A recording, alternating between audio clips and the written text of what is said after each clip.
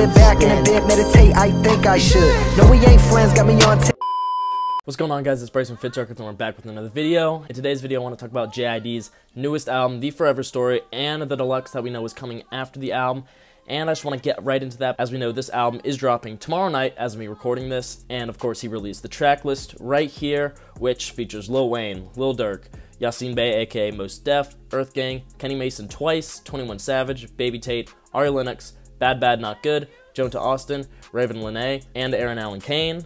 So, I mean, if you haven't seen the track list, I mean, there it is. But I don't want to go too much into that because, like I said, the album drops tomorrow night. You know, I'm sure you guys have seen the track list and we are super excited for the album. Of course, I'm going to have content on the album, probably do a tier list, probably do a review, stuff like that. And also, I'd like to note that JID did drop a song on YouTube entitled 2007, which was the original outro to the Forever Story. It's a seven minute song.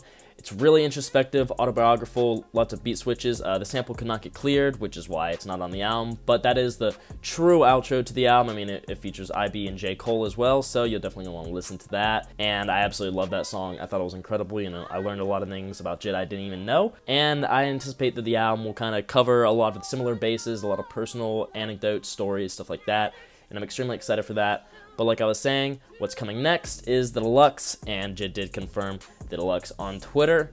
And he basically said, you know, whatever snippets you want, just let him know. So if you have any snippets in mind that you want to tell JID to put in the album, hit him up on Twitter. You know, he might see it, he might add it. And we do have one confirmed song, you know, is on the deluxe. It goes by the title Subsidized. And to play a little bit of that snippet right now for you guys. Okay,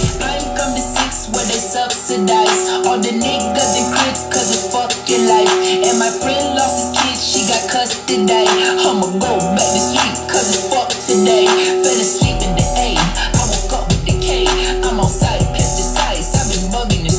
So that sounds insane. I mean, I am more than excited for JID's album, this deluxe. I mean, I think we're to be getting a lot of JID music now. I mean, it's been four years since a full official solo release, so it's to kind of go crazy. And even after this deluxe, we even know what's coming next. I mean, JID has been working on his album God Does Like Ugly for almost two years now and we know he's been working on that alongside the Forever Story.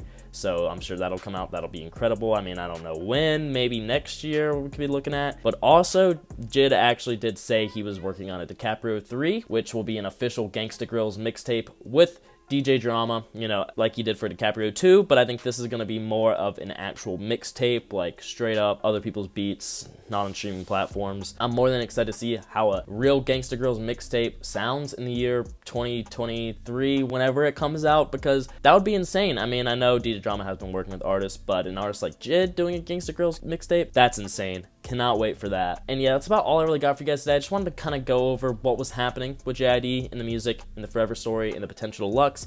Kind of keep you guys in the loop of what to look forward to and expect. And like I said, the album comes out tomorrow night officially, so you know, I'll have videos and content up in that in the next few days, so make sure you look forward to that. And if you don't want to miss that, make sure you subscribe, hit the bell so you don't miss out on any videos, any updates, anything like that. Go in the description, make sure you follow my Twitter, my Spotify, and my TikTok down there too.